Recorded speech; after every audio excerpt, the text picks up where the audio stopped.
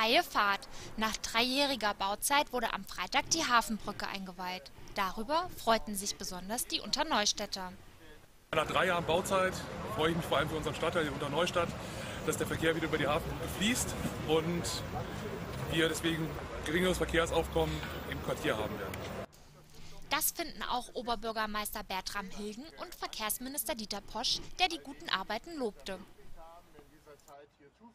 Ich bin häufig durch Kassel gefahren, weil diese Brücke ja zwei Bundesstraßen miteinander verbindet.